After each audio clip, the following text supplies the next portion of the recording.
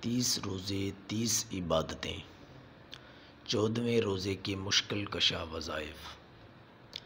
رمضان المبارک کا دوسرا اشرہ مغفرت ہے۔ ذیل میں قرآن، احادیث اور بزرگان دین سے منقول مغفرت حاصل کرنے کی ایسی دعائیں اور اعمال دیے جاتے ہیں۔ جس سے اس اشرہ مبارک کا لمحہ لمحہ قیمتی سے قیمتی تر ہوتا چلا جائے۔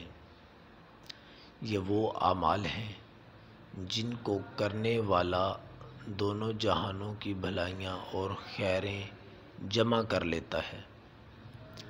بعد نماز فجر تین بار پڑھیں۔ الَّذِينَ تَابُوا وَأَصْلَحُوا وَبَيَّنُوا فَأُولَئِكَ أَتُوبُ عَلَيْهِمْ وَأَنَا التَّوَّابُ الرَّحِيمُ۔ بعد نماز ظہر، گیارہ بار پڑھیں۔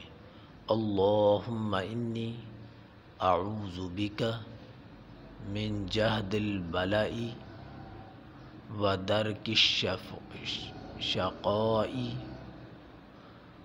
و سوء القضائی۔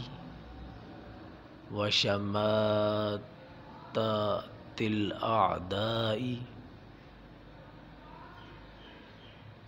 بعد نماز اثر سات بار پڑھیں۔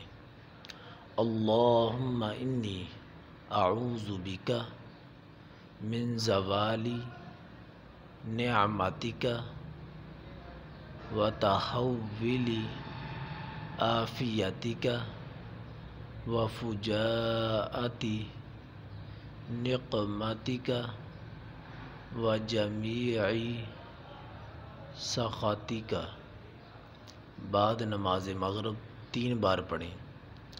اللہم انی اعوذ بکا من جبنی و اعوذ بکا من بخلی و اعوذ بکا من ارزلی۔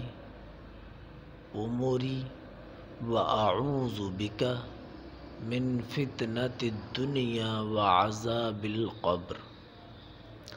بعد نماز تراویح تین بار پڑھیں۔